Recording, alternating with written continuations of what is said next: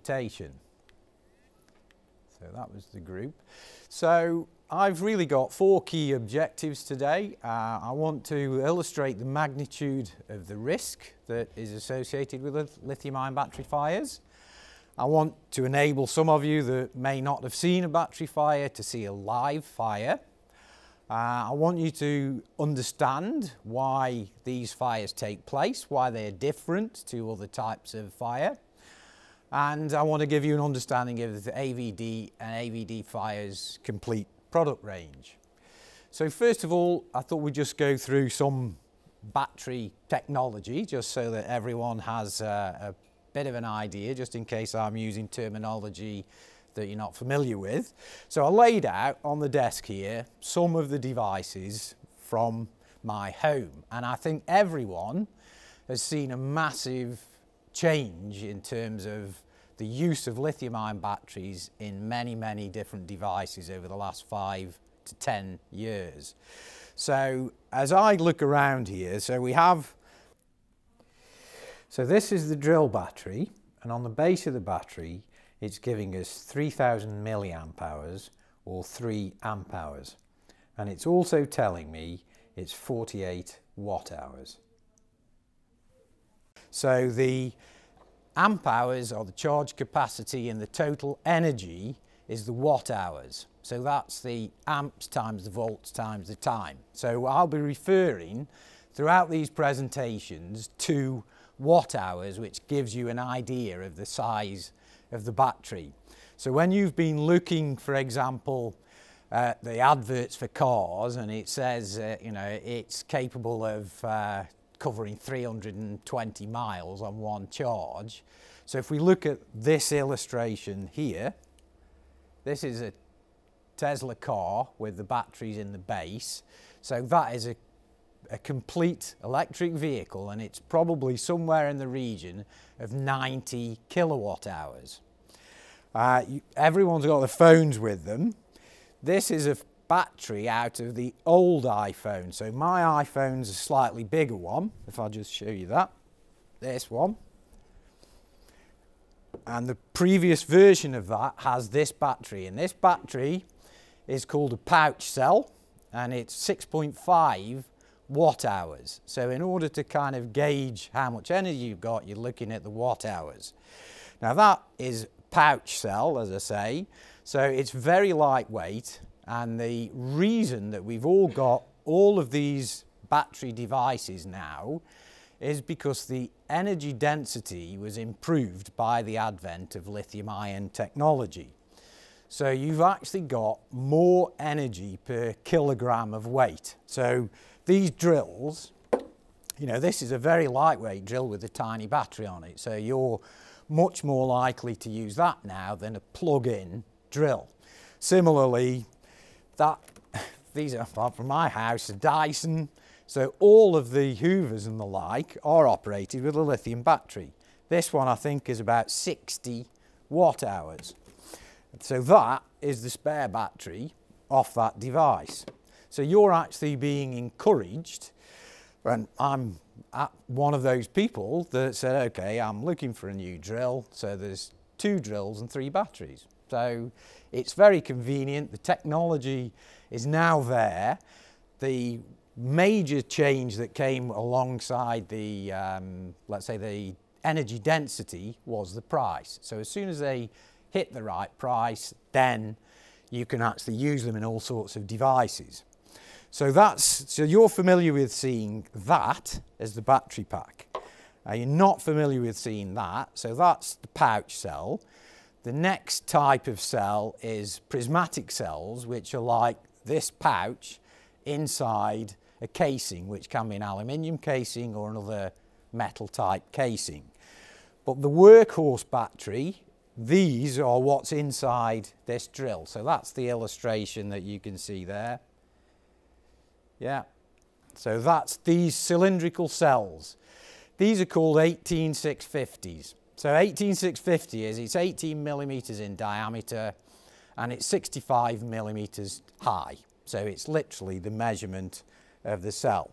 And you can see, you know, all these devices, they're just multiples of these individual batteries.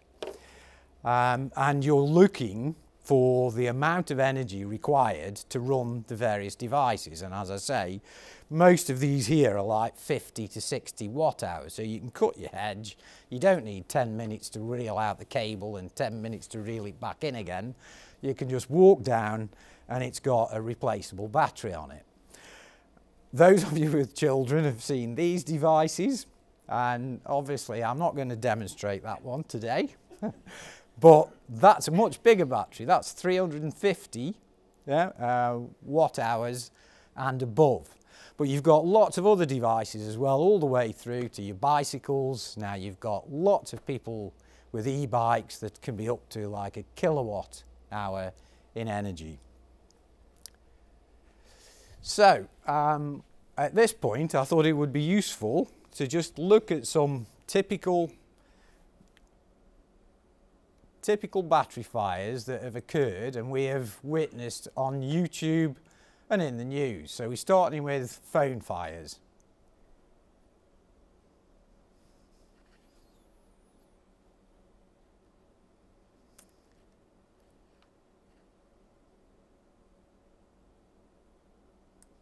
So basically, that phone uh, is the same as mine. It's got a device in it, a a safety device that's built in that normally would switch it off at about 40 degrees C. So if you've left it in the car dashboard in the sun, it will heat up and then switch itself off. But if you continue to heat it, the, that battery remains the same. You're just externally heating the battery. So you get this kind of fire incident. Now that's a small battery, as I said, that's only six and a half watt hours.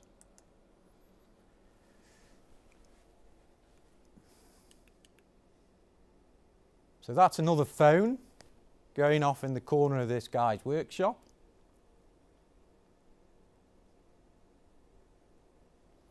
And the next group are e-cigarette batteries, which are these cylindrical cells.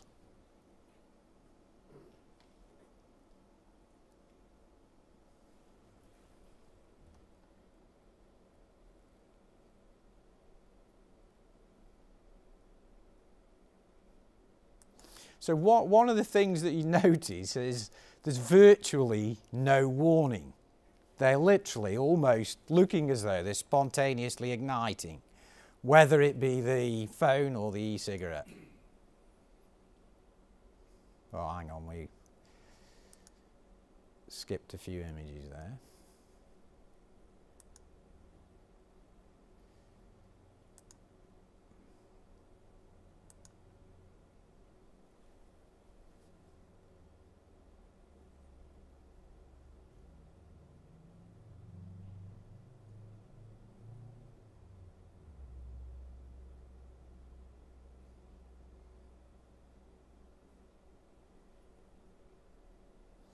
So as you can see, these are all devices that we've all got stuck in our pockets, you know, every day, and we're not actually um, seemingly concerned. And this is an interesting one, which is a power bank.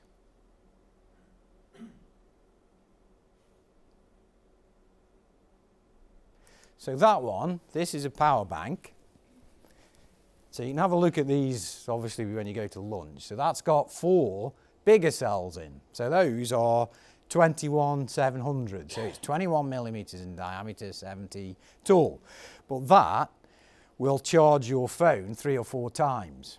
So it, that's quite, a, as you saw, quite a, a significant fire if it's in your bag or in your pocket. This is a, a laptop which is just sat on the desk charging. And okay, we tried to compress the videos but you can just see it literally ignite and obviously it's spraying debris all across the office, across the floor. So it's highly likely to actually set the office on fire.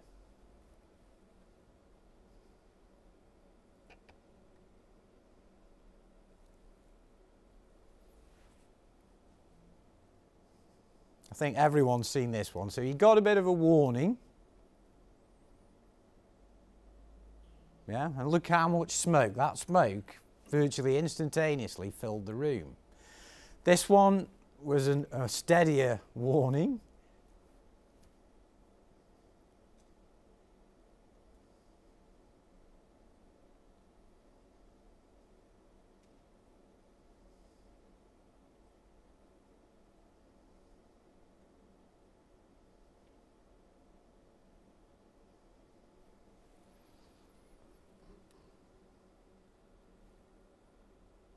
So the film guy obviously moved away as he saw it was going to uh, actually burst into flames. But you're actually looking at devices that are all in the region of 750 watt hours to a kilowatt hour now with these.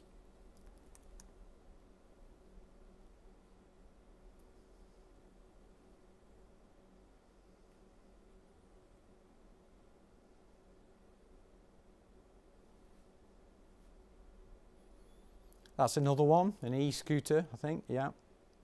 Just on charge in the corner of the room.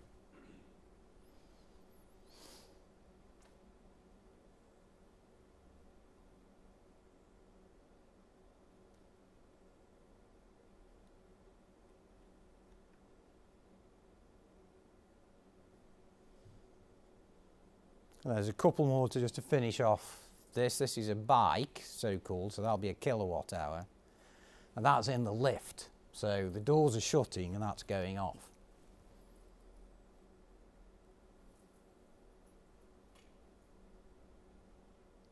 In this incident, the owner actually goes and fetches the garden hose and he's squirting the garden hose on the battery when it moves.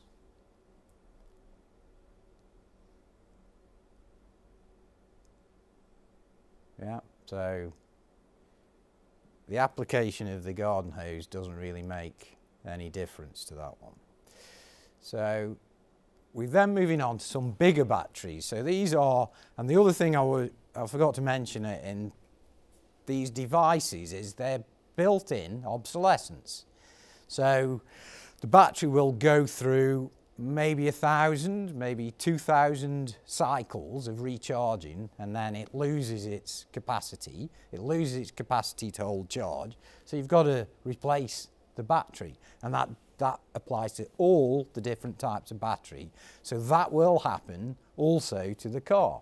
So you will have more devices going through recycling centres. So the first video I think is a recycling centre here.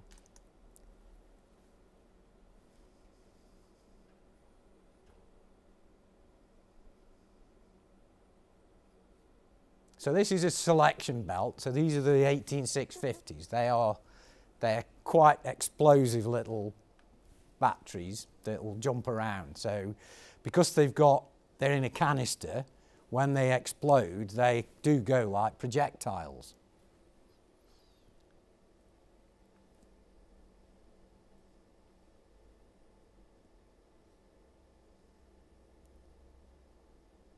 So this is in the recycling centre. Obviously, they saw that there was something setting on fire.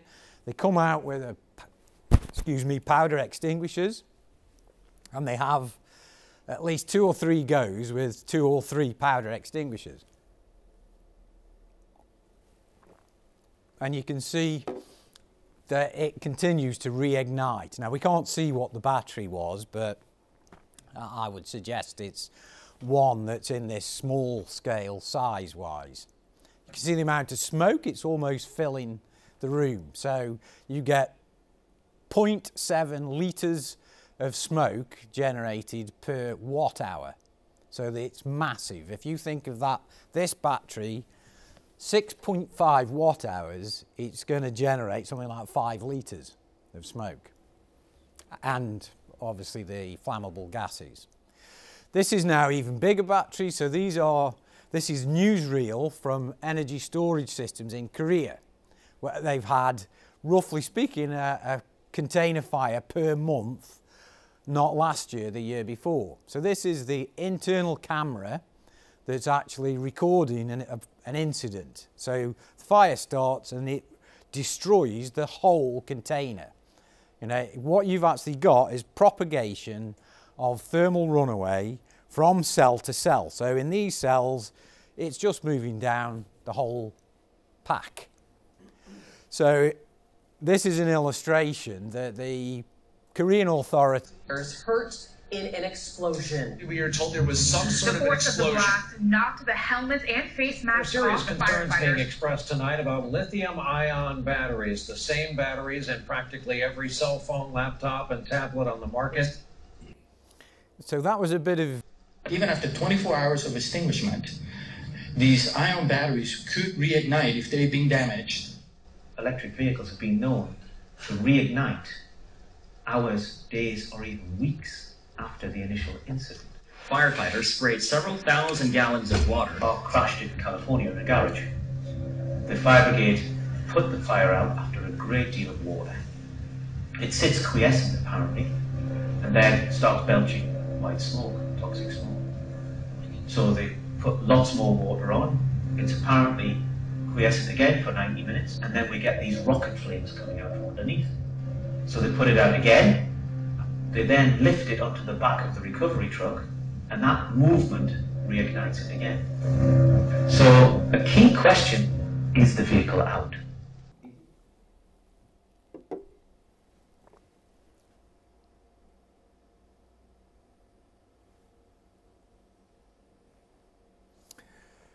Indeed. So a key question is when is a battery fire out? And clearly, as you can see, um, even the fire brigade, when it's a car, are struggling with 100,000 litres. That I think in that particular incident, they mentioned 30,000 gallons in the USA were, were actually used to take control of the fire. So it, it's substantial.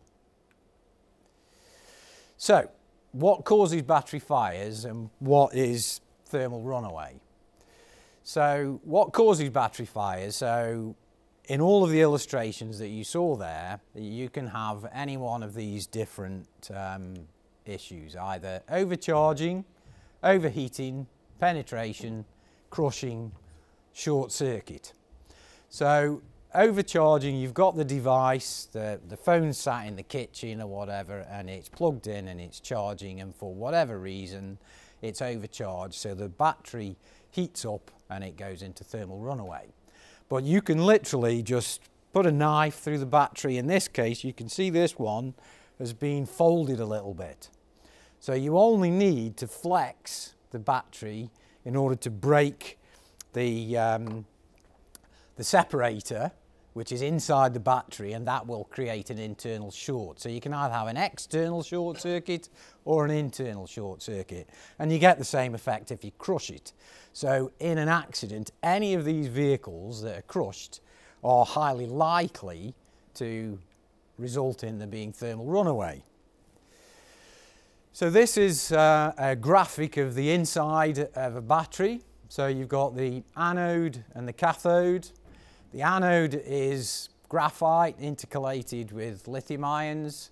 The cathode can be any one of four or five different materials. So this one is lithium cobalt oxide, but you can have lithium iron phosphate, lithium, nickel, manganese, cobalt. There are various different types of technology. So people refer to it as a lithium battery. Some people then will say, well, use a powder extinguisher. So these are not metallic lithium. This is a compound of lithium, so it is not metallic lithium. There are metallic lithium batteries which are called primary lithium, but they are not usually rechargeable. So if it's rechargeable, most of the time it's a lithium ion battery. So this is the separator. This is usually polyethylene or polypropylene, but in my phone and your phone, it's probably only 20 microns thick. Now you may recall Samsung launched a phone, which was the S7, which kept spontaneously bursting into flames. Well, they actually redesigned that phone and made the separator 12 microns thick. So it was almost half as thick. So you sat on your phone when you left it in your pocket, it bends the separator and you get an internal short circuit. So anode, cathode, the other way around, separator, and in the middle you've then got the liquid electrolyte. So the liquid electrolyte is usually, usually a mixture of lithium hexafluorophosphate and one of these hydrocarbons. So dimethyl carbonate, ethyl methyl carbonate. The point being that they're all hydrocarbon chains. So as soon as you heat them up, they decompose, releasing hydrogen, ethane, methane, and other flammable materials. So the reason the lithium ion battery burns readily is because part of its composition is actually flammable on decomposition. So this literally is an illustration of the short circuit. So we've broken the separator. The short circuit is inside. So you're actually heating, as soon as you've got the short circuit, it heats up. That decomposes the electrolyte. That creates an increased pressure inside that cell. Because it's a higher pressure, that's got a direct relationship to temperature. So the temperature goes up, the pressure goes up, and the temperature goes up, and it, it becomes a self-propagating chemical reaction. So beyond a certain temperature for each chemistry, it will then go into thermal runaway. So most of the most of the time you would say, well, just use a fire extinguisher. So like you saw in the um, recycling centre, they just went and fetched their powder fire extinguisher and applied that to the batteries and in the hope that it would work.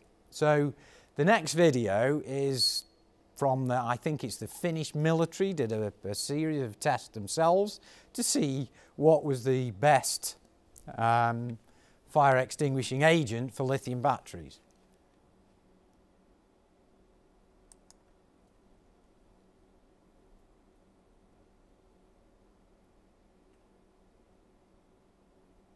So this electric heater underneath the batteries and they're getting the batteries going and then removing them and then applying different extinguishing agents.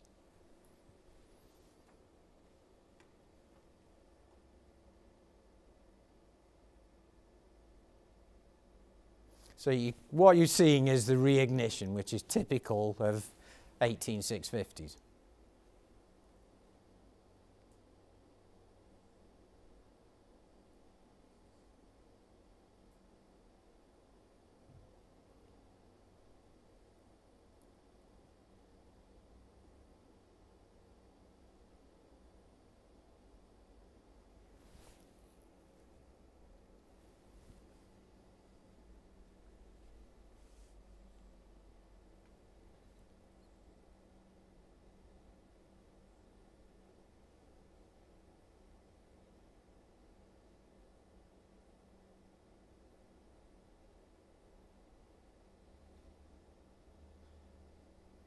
So you can see, um, if I just stop that one.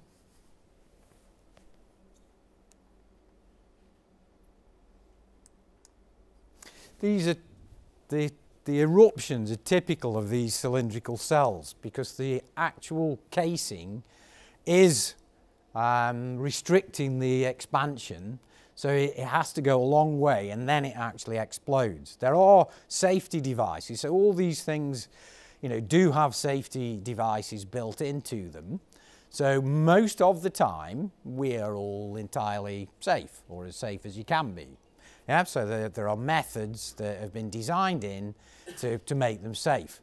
But my point that I want everyone to understand is if you simply continue to externally heat the battery, even though you've built in the most sophisticated safety mechanism, it will still burn and the, the little cylindrical ones are frequently explosive like this.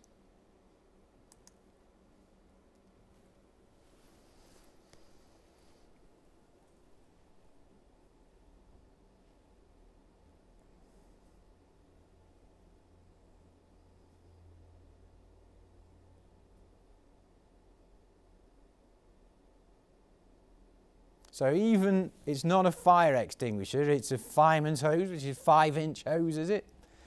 It's a, a lot of water is being applied and that still reignites.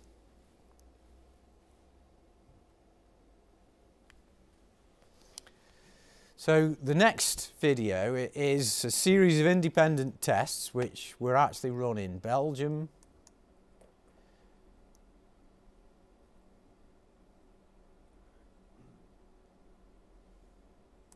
So,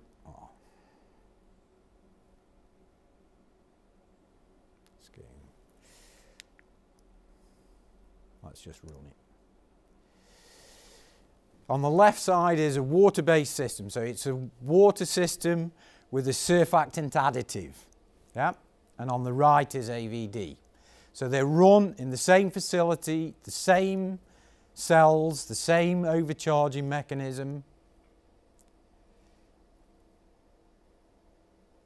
On the left you'll just see the water-based system, it starts to reignite now and you've got reignition which I think was about a minute and 45 into the test.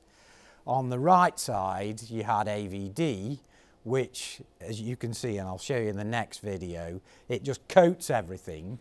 It takes longer to apply than a water extinguisher so a water extinguisher will be emptied in about 45 seconds a 6 litre and the AVD will take nearly up to two minutes. So you're applying it and creating a coating.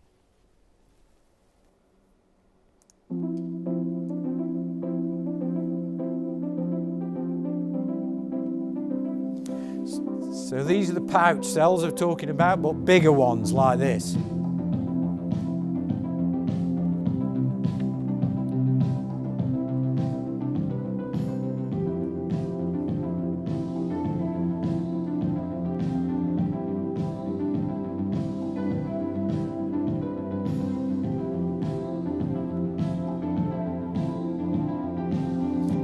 Overcharging in the centre in exactly the same way as the previous test.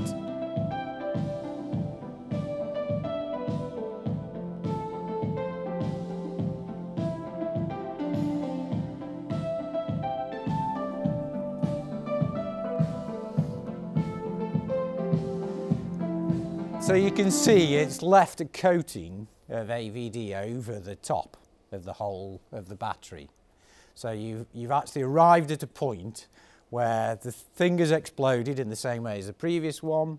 That was a system that was rigged up and it was actually uh, triggered by um, a thermal imaging camera.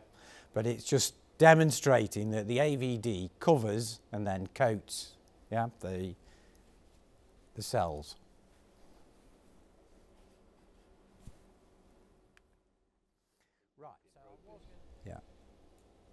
So I'll press straight on because that's, I think, the questions that, that you're asking. So how does AVD work? So AVD is based on vermiculite. So AVD stands for aqueous vermiculite dispersion. Vermiculite is a naturally occurring mineral, magnesium, aluminium iron silicate, and it's dug out of the ground in the form like this here, which is unexfoliated, and it's passed through a furnace at high temperature. The uh, interlaminar water that's trapped between the flakes expands into steam and makes the product swell so that it looks something like this. If, do you want to pass these around? If you have a, a bag or two and pass them around. Um, so this is what thermally exfoliated product looks like. There we go. And that is, this has many, many different applications. There's insulation, in brake pads, in animal feeds and so on. But basically this is an inert mineral. So it's used as insulation because it has um, excellent insulating properties. So it, for example, loft insulation uh, sometimes vermiculite was used. Now that you've got different heights required, you can't, can no longer use vermiculite, but it's got lots and lots of different applications that are everyday. The AVD is not thermally exfoliated vermiculite mixed with water, it is chemically exfoliated vermiculite. So that's this. So this is, these are some, pass them round. These are some samples of AVD.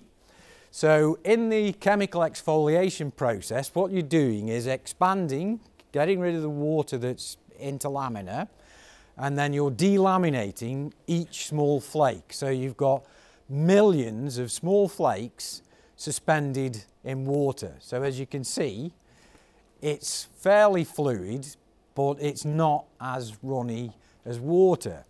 The vermiculite content of AVD is about 17%. So you've got 17% wa- uh, vermiculite, 83% water, and it, it's basically like cream. Maybe not, it's a bit thicker than cream, but that's, that's basically what it looks like. So if you actually have, so we've got a, an illustration there of a battery fire. So these are these cells that I'm showing you on the desk here. These are 18650 type cells. As we've said, the battery goes into thermal runaway, so you get some smoking if you're lucky, and eventually they rupture. So this is the illustration of uh, a typical cell, which it goes off like a flamethrower, so you can get a meter long extension of flame, which hopefully you will see um, later on this morning in the, in the fire test. So you then apply AVD. AVD is misted, but it's not like water mist. So the particles of AVD are 108, a D90, so 90% of them are less than 180 microns. 50% of them are less than about 80 or 90 microns. So, but that's the cross-sectional diameter. They are about 150 nanometers thick. So they're very fine, thin platelets. So if you want to pass these around now, listen. So these are, this is a film of AVD. We've just drawn it down on a piece of glass and you can take the film off. But it, so the platelets sit on top of each other and create an oxygen barrier. They also, as I say, it's used as a, uh, an insulator, so they create a thermal barrier, and in addition, it is non-electrically conductive. So in respect to a battery fire, you have covered all of the requirements for an extinguishing agent. So if we look at this image here, you can see that's an actual test that we have run where you've done 18650s, a pack like this. We overheat a central cell. The fire propagates through several of the cells. And when you've applied AVD, you've got this coating that sits on top of it and penetrates down between. And as the heat is taken away by the water, it, you're left behind this coating that you're looking at now.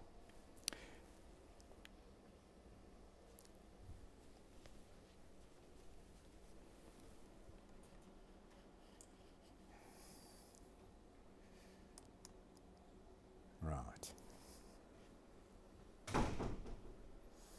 So on the right hand side we just got a piece of polystyrene and it burns through in about 10 seconds.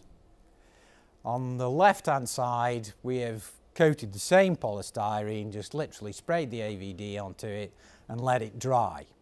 So it's forming a film and the film is protecting the polystyrene. So in essence, you can see that the polystyrene structure remains in place even though the, some of the bubbles will collapse. So the point of that illustration is that you can, once you've coated something with AVD, you can actually externally heat it and it still doesn't burn.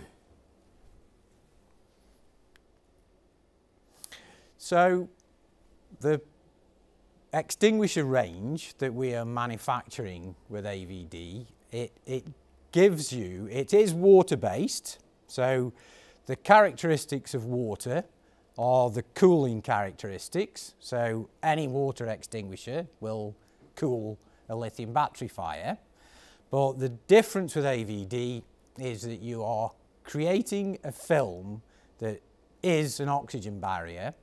That is covering the fuel source. So it's preventing the propagation of heat from cell to cell and it's preventing that cell from burning. It's also, as I say, you don't get, you're not going to get a short circuit because it's non-conductive, whereas with a lot of the um, water-based systems, as the water dries out, then you get a short. And obviously, um, if you're spraying it on a large battery pack with many cells, even these incidents where I think we've talked about um, some of the, the German and Dutch uh, fire brigades immersing the complete vehicle in a, in a container of water. Yes, that works whilst it's in there, but you've, you've actually seen in America, the Chevrolet Bolt, I think they took the vehicle out, left it for five days, and then it reignited as the water created a, a short. So AVD is actually impacts on every element of the fire triangle, so that's why it works differently to other agents. Okay. So if we can, we can now go over to the fire demo. Yeah, so um, the team from AVD will take you over to the building on the other side of the road where they should be set up for the fire. And then when we've done that, we'll come back. Following on from the fires, so we're now going to talk about the product range, obviously that you've witnessed some parts of just in the um, uh, actual fires. So we manufacture a complete range of these extinguishers that you can see. So there is an aerosol which is 500 millilitres.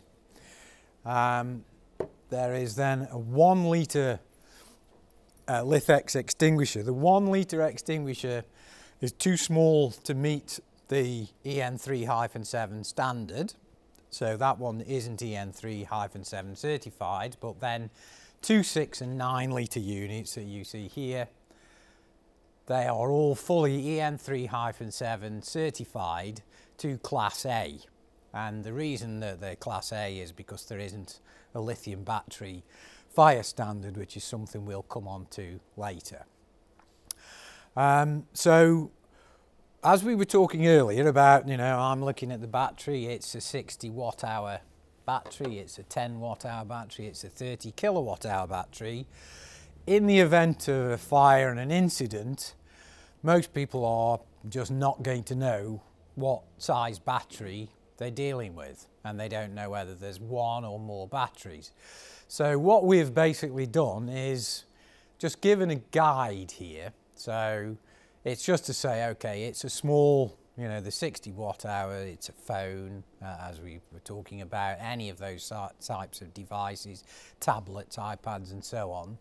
So, and these are just guidance because as you can see, you get up to 500, 750 watt hours, and which is bikes, scooters and things like that. And that's actually quite uh, a large amount of energy. So looking at the fire that we've just done, so the, both fires with five of these batteries. There are four cells in each and we overcharged one of them in the middle. So we basically overcharged that and there were two either side. Okay. So all the numbers are always going to be guidance. No one can say to you, uh, all right, I've got a 500 watt hour scooter, so, you know, which extinguisher is going to do it.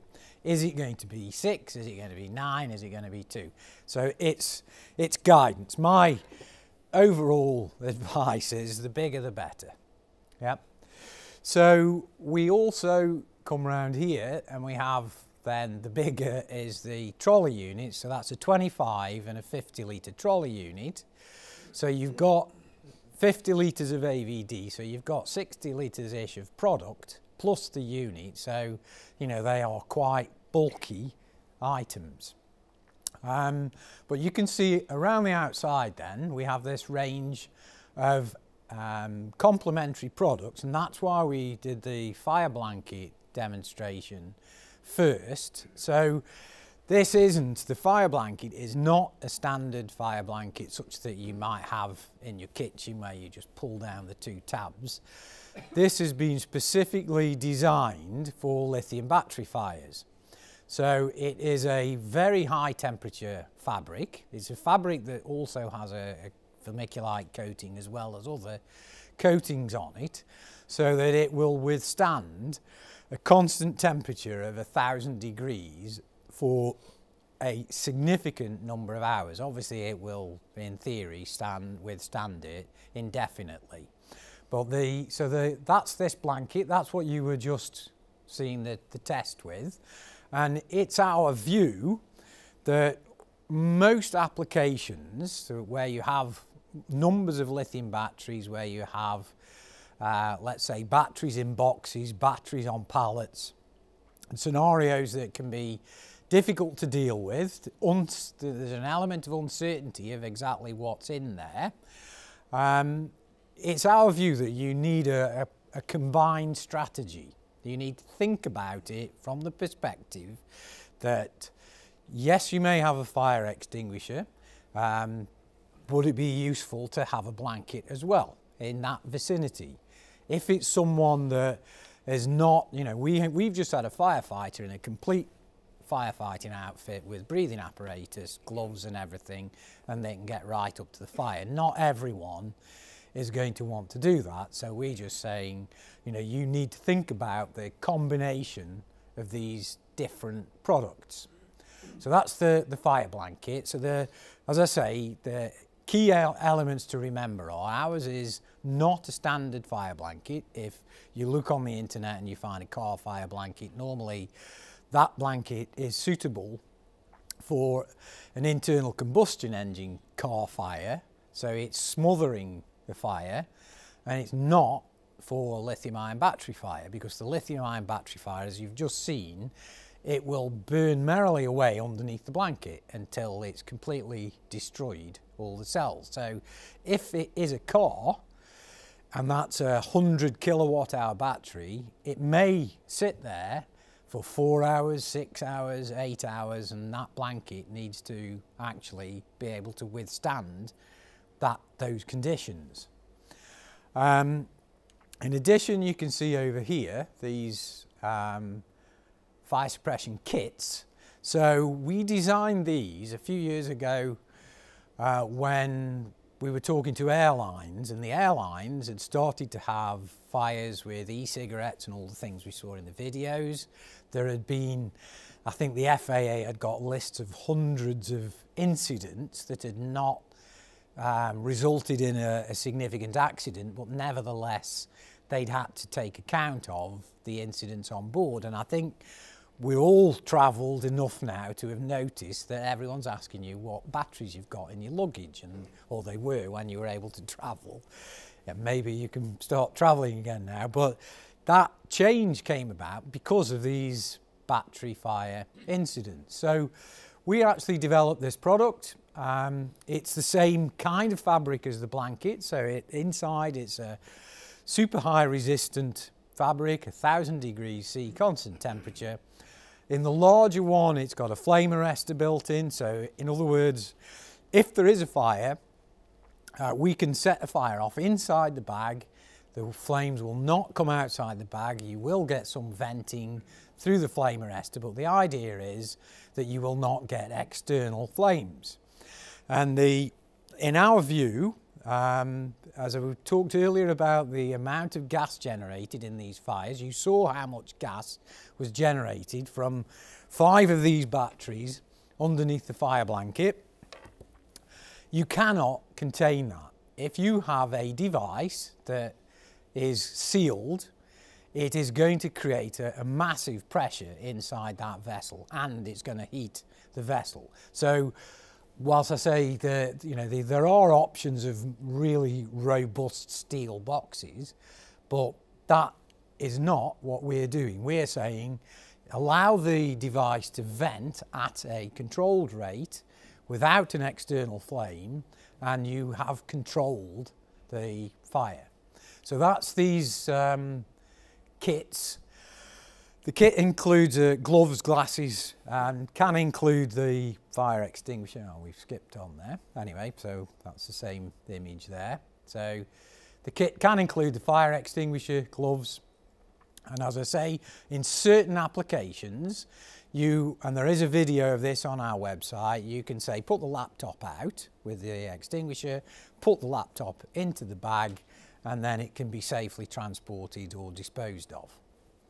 Okay, so just going back to the um, certification, as I say, all of the extinguishers that are 2, 6 and 9 are certified to Class A.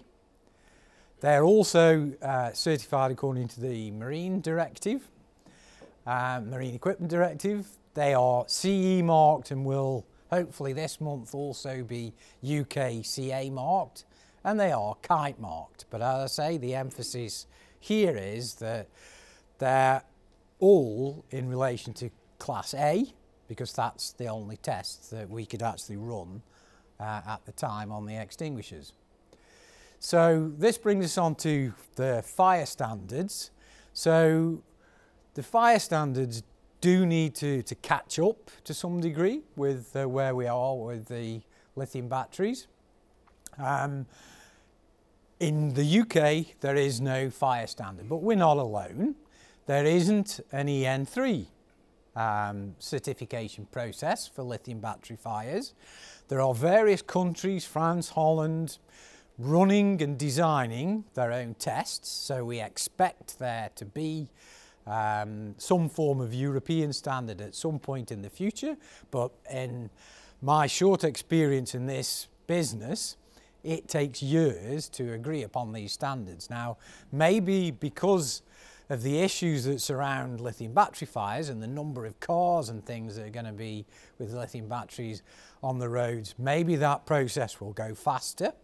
But at the moment, there is nothing in Europe. Equally, there is nothing in the USA, and I think you were asking earlier about uh, FM and UL. Um, so we are we have developed the same range of extinguishers for the USA. They will be going shortly through UL certification, but again, it will be for Class A. When UL decide on a standard for lithium batteries, then we will subject the extinguishers to that test. FM tends to be systems, and again, we're working with a variety of companies looking at putting AVD into systems that are uh, suitable for lithium battery fires. So just a quick note on, on systems. Everything we've talked about so far is portable fire extinguishers. So we've been showing you that AVD works in portable fire extinguishers. The extinguishers are a higher pressure, they're 15 bar, they have our own uh, specially designed nozzle so that you get a maximum amount of misting from the AVD given its viscosity. But what this section is about is you can design a fixed system to incorporate AVD.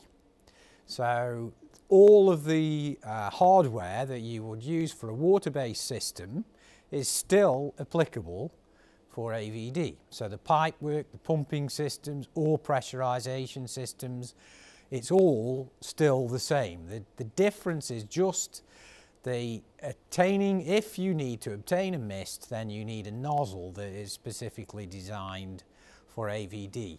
So all of these devices, this is basically a system that I think it was a marine or a, a motorsport system where you have a vessel uh, which is basically the same type of vessel as this, but you've got a, a specialist um, uh, valve system, so you can attach to it uh, a mechanism for triggering or you can uh, trigger manually. Uh, the pipe work is the same as the water. Everything else there is exactly the same as a water system. So what we're saying is that you can design a system, even though up to press we've been working with several companies around the world looking at systems we are not here saying we as AVD Fire have a system. We think that companies that actually integrate, make systems and install systems need to work with us to design things specifically for the relevant application. Um, even though we haven't designed systems specifically for sale, we have designed systems and worked with various partners for testing. So here, uh, if you cast your mind back to the uh, early video of the energy storage systems in Korea, these, this is a test in Korea where these are, I think these were Samsung uh, energy storage modules in the container. You've got racks of these modules.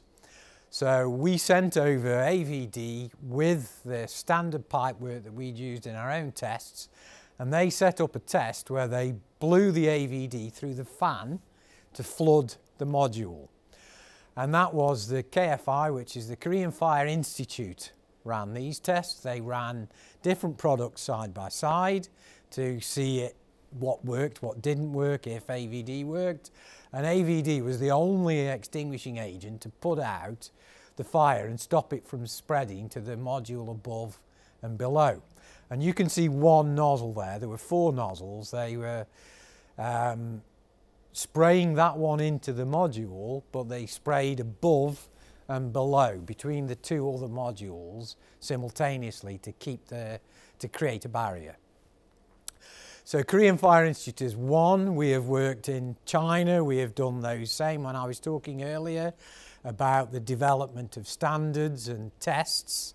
Um, obviously, the Chinese don't fit into any of our normal UL or they have their own tests. So they wanted to just design a test, um, set some batteries on fire and see what could be achieved with AVD. So they made their own cabinets. They sprayed um, pouch cells in cabinets. They sprayed um, the, the 18650 cells. And so they ran their own series of tests. So you know, they, they, it, this is not just the UK, it's not just Europe. Almost all around the world we have been running these kind of tests. Uh, in RISE in Sweden, the tests are currently underway, I think, so I can't give you a result on that, but they are looking, uh, RISE is the Research Institute of Sweden, they are looking at, at testing because of the car ferries.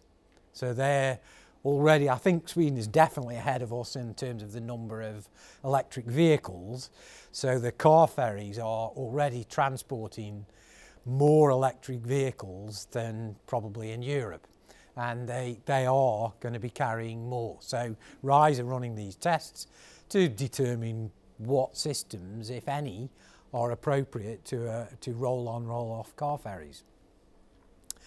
Uh, JLR, Tesla, Volvo are just you know, those household names that, you know, they have said, well, can we run tests with your product? Can we, uh, and obviously some of them are customers, I'm not going to say who's customers, who's not, but, you know, we are already selling to these people and we are already supplying units for testing up to trolley units. And then the, the bottom one, Cold Cut Systems, is a Swedish company that manufactures a system which is a high pressure system for blasting a hole in the side of the car directly into the battery so you can flood the battery. So again, they are running independent tests to look at can this system be adapted for uh, use with AVD. We're also, you know, that it's a small cross section of, of some of the tests that we're running. There are lots of people now looking at what is the best solution um, for their particular scenarios. Okay, so again, most of the things that we talked about, we've talked about up to like a 50 litre um, trolley unit. We are also looking at systems to provide more AVD. If, if um, you know, it's a warehouse or something where you know there are pallets and pallets of lithium ion batteries, then one of the things that you can do with AVD is use it as a fire break. Instead of putting out the fire that you've got spray everything that's next to it and prevent the fire spreading to it. So you may need physically more volume. So we are working on systems that this one, instead of having a, a pressure vessel full of AVD, this system would work still, you still have a nitrogen source, but it, it's to aspirate the AVD from the tank and allow you to spray without having it from a, a pressure vessel. So there's a, there's a lot of work currently underway and those people that, that are in the room here today that are actually thinking of doing testing, you know, we want to do more testing. We want to be involved in testing so that we all get more and better information. So the last subject, and not the, it's not the least subject, is the toxic potential of battery fires. So I'm sure that most of the, the people in the room have um, at least heard some of the discussions which have surrounded battery fires in terms of you know what the emissions are. So typically, um, if so, if you saw the when we got the fire blanket, we got the smoke and fumes coming out from underneath the fire blanket, and you can there is a certain odour to the electrolyte. So you've got absolutely definitely uh, a range of these gases. These are not our numbers, these are taken from like RISE and various other American institutes. So they will tell you that's a lithium cobalt cathode, you get 30% uh, carbon monoxide, 30% carbon dioxide, 25% hydrogen, 15 uh, the other hydrocarbons that we talked about earlier. And that's the NMC version, so the, it's the same gases just in different percentages. Um, and this whole subject has some very um, different authors have different views. And it's not our position here today to say we think this is right or we think this is wrong. We're just saying, you know, I have on the table here a number of papers from different institutes and they, they say different things. So they say what the results of their tests were. And in my view, this is an area where a lot more work needs to be done. So we need to understand better what gases are given off, and in particular, uh, HF. So it is clear that in all fires, there are toxic fumes. In all fires and in all, if you're in a confined space, you know, these gases will kill you anyway. The issue with HF is that we need to know more about how much is generated, under what conditions it is generated, and that data can only be obtained, if you like, under much more controlled conditions than the ones that you've witnessed today. So we are looking for companies to work with to find out more information about HF, about what is generated under what circumstances, from what chemistry, so that we're all better informed. But yes, there are several uh, toxic chemicals that are generated in, in these fires. Now, as I said, we have been working with other uh, agencies and facilities around the world uh, this is an extract from the Journal of Electrochemical Conversion and Energy, and it's a piece of work done totally independently by a group of Chinese engineers. And so I'll just read what they concluded. I put the, the blue text in. The AVD fire extinguishing agent absorbed a large amount of the toxic elements within the smoke during the three-state conversion of gas, liquid, solid. Thus, the AVD demonstrates clear advantages in reducing harmful smoke components of battery fires. Now that, that is this group of Chinese guys. This, when, when we give you these presentations, you can look that up. That is the extract and you, you have to pay yeah, to download this document. But it does suggest that AVD also uh, has an impact on the amount of toxic fumes liberated. Now, I, as I say, I don't have any solid numbers on that and we want to do more work, but we think that is equally important work that needs to be done going forward. Um, so I mentioned earlier we you know we are working with different companies around the world and people are catching up in uh, you know outside the eurozone as it were.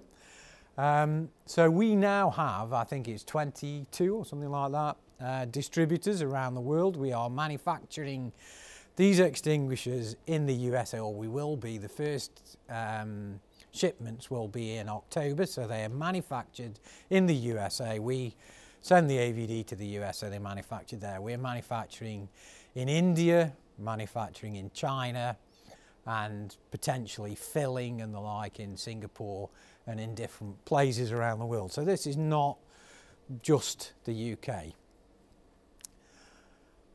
Okay, so I think we've covered